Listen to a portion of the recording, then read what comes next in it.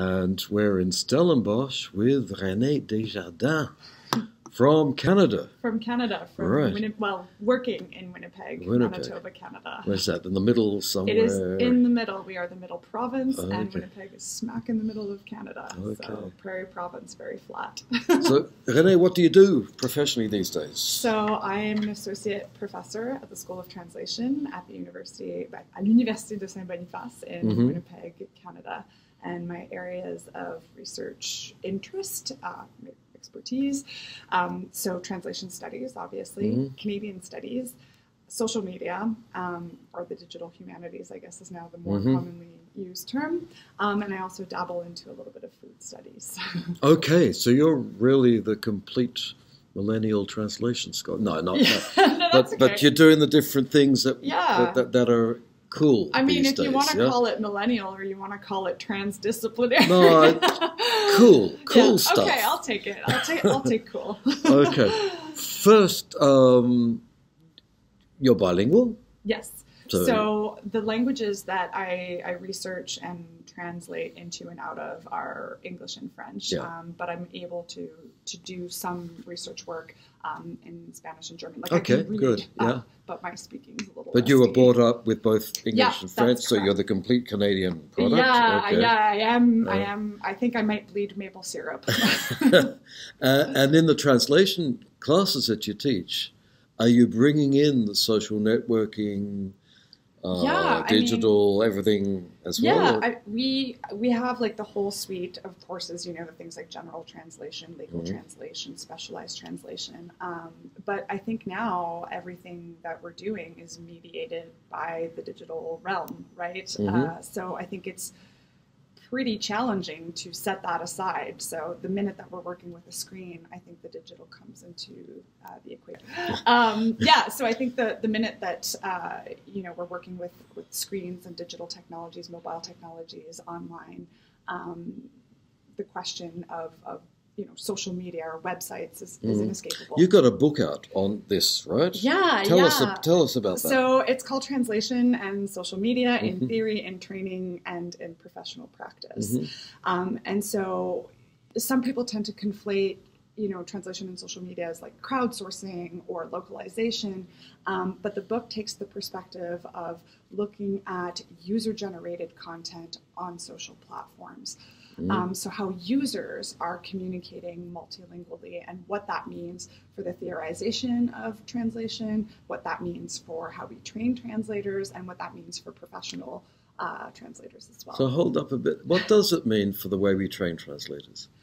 Um, well, I think that more and more, uh, well, especially with uh, the Canadian context, um, tr- professional translators are being called to translate texts that are digitally born, right? Mhm. Uh, meaning that they've never had a sort of paper antecedent. And so, what does that mean when you have hashtags? And what does that mean when something is embedded, um, you know, in a website? And so, thinking about how we can train translators for those types of translation challenges. Surely a lot of that stuff is done by machine translation.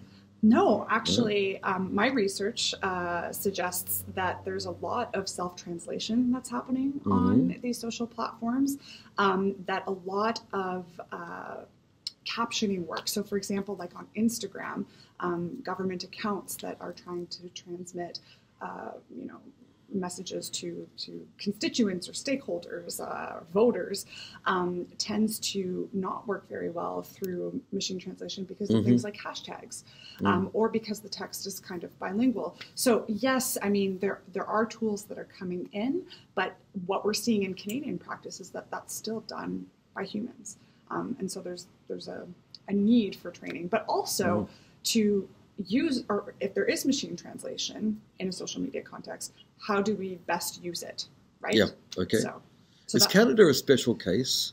um, I don't know. Not many governments communicate through Instagram. Um, well, the, well, the, the Canadian government is there in the sense that there are accounts like Parks Canada, Library and Archives. Mhm. Um, so they're different, uh, you know, government departments. Um, also, our, our politicians Okay, have to so be there. yeah. So I don't know if Canada is a special case. Oh, It also invests a lot in translation. It does. Well, It's we a- do have the Official Languages Act, Mm. which I think immediately puts us in a, a place of translation or in a need of translation. Sorry, Official Languages Act says what? Uh, Says- says that everything has to be in our two official languages, which is English and French. so for the whole territory of Canada. Yeah, anything that is um, in relation to the public sector. Yeah, Mhm, yeah, which which is also you know being debated at a time with Indigenous reconciliation. Um, so some people Yeah, are so it's more than French and English. yeah. So and, and I would tend to be favorable to having um, inclusion of heritage languages. Yeah. Mhm.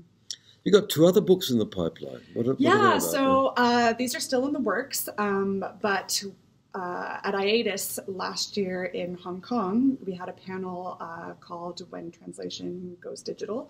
And when I say we, I'm referring to my colleagues Claire Larsonneur, who's in Paris, and Philippe Lacour, who's out of Brasilia. Mhm.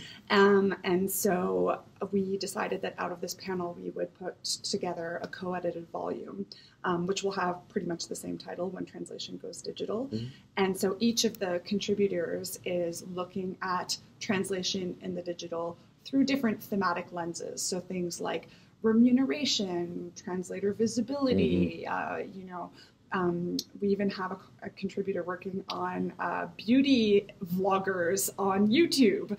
So, you know, beauty right. influencers. So I guess that's another I don't have much to do with that. Okay, yeah, yeah. okay. So, and, and what's really cool about this project is that the geographic coverage is quite good. So we have contributors from Asia, we have contributors from Europe, we have contributors from North America. Mm. So I think that that's like really rich because it's not just focusing on one kind of geographic space. Who's your publisher?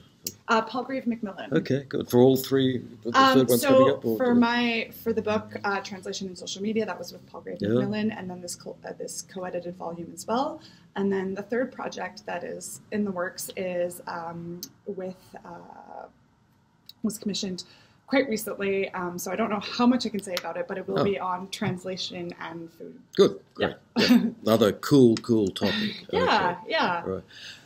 You know, we're doing everything in social media and it's all digital. And why are we producing paper books? you know, I think I don't know that this is true for the younger generations, Yeah, um, yeah.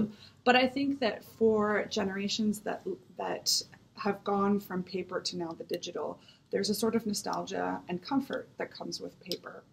Um, but I also think that it's just less demanding on the eyes to, okay. to read. oh, so you, you do read paper books? I do. Oh, I gave do. them up I do. I mean, I So- I think the, the portability and mobility of ebooks is fantastic. Um, and, and certainly environmental, you know, uh, benefits as well to having uh, electronic text. Uh, but I do prefer paper. But Great. I went off the track there. I forgot the most. Im- Did I ask you what were you doing when you were 22, 23, so what was I 24? doing when I Yeah, was sorry, I 22 or get misled 23? into this. Okay. Um, so I was just finishing my master's and starting my PhD Mhm. um, at the University of, of Ottawa in Ottawa, Mhm. Canada.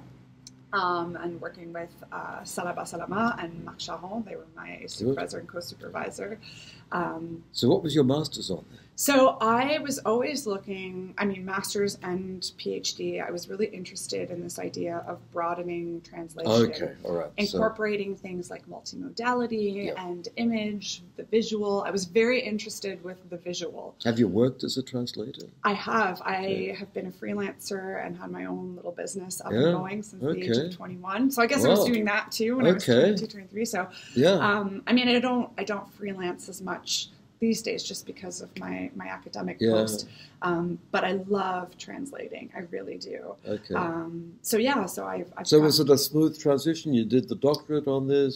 You... So I did MA and went straight into the PhD. Um, but for the last two years of my PhD, I was doing that uh, part time, and I was working full time as a reviser uh, as part of an in-house translation team at the Royal College of Physicians and Surgeons of Canada. Wow, that's a different thing. Okay. Yeah, so I was doing Right, some medical translation. okay. Yeah, so Right. I, I always felt that this was really important as I was moving through my graduate work was just to always have this kind of grounding in professional practice. Yeah. Um, it's not to say that people who have never practiced professionally can't have very valuable things to say about translation, but I think in Canada or in the Canadian context, it's really helpful to see how translation is practiced and to have that lived experience and then bring that into the research. Sure. For me, anytime I'm theorizing something, I want to think about how that might have a certain applicability. I don't want to say in the real world because I think the academic world yeah. is the real world, but you know, it's part of the real yeah, world. Yeah, yeah. okay. So, so yeah, so when I was 22, 23, I was already kind of in, in my graduate work, and but I've learned so much since then. what kind of research do you think we should be doing? I think research, more more of what you're doing, or do you see areas no, that, need think, more development? I think research that we're passionate about, which uh, that's kind of, the right answer. which I think well is, done. Which I think is maybe a bit of a of a cliche, or maybe it is a little millennial to say, um, but I, I think mm. people who aren't really invested in their topic, it comes across either in maybe you know sloppy methodology or half-heartedness in conference presentations and in my experience, people who are passionate about what they're working on, or if they're invested in sort of an activist, you know, yeah. capacity, then immediately there's this spark that is always there. Yeah. And I think it makes the work a lot less tedious. Does activism contradict empiricism? Sorry to throw that. No, that's there. okay. I just have to think about it for a moment. I don't. No, when you did your, your research, yeah. I mean, no, I, you, I, Did you discover stuff that you didn't know while you're doing the yeah, research? Yeah, yeah. Well, I don't. I don't think that the two are mutually exclusive. I mean, certainly having a more activist perspective or being engaged in a way that's more more asserted, I guess. Yeah. Um, you know, I guess the concern there is an overt bias that might skew, you know, how you interpret. Oh, I'm not worried but, about that. but yeah, no, I, I think it's. I don't think the two are mutually exclusive. Okay, that's the right mm-hmm. answer. I don't know. okay, Renée, thank you very, very much. thank. You. Okay, thank you. that was great.